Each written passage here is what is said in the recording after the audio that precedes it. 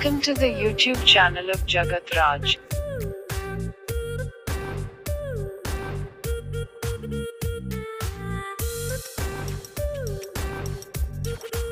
Today's maths trick is based on 999 into any numbers.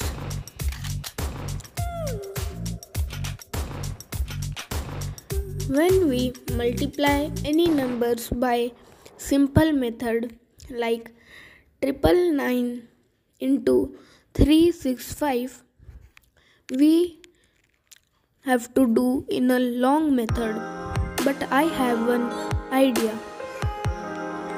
Triple nine into 365 we have to first minus 1 from unit place number.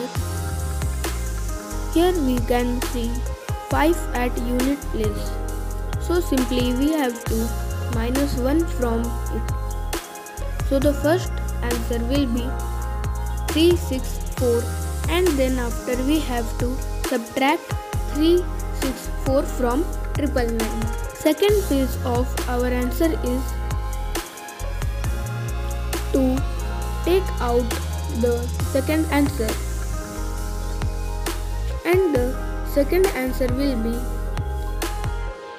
after minusing 364 from 999. So the second phase of answer will be ready. I will give you 5 seconds for it.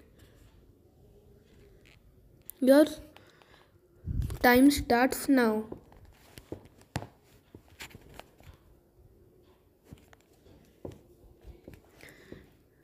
Time up. So the answer will be 3, 6, 4, 6, 3, 5.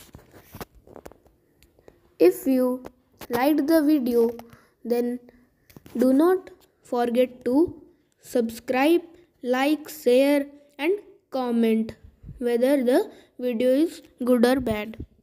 Thanks for watching.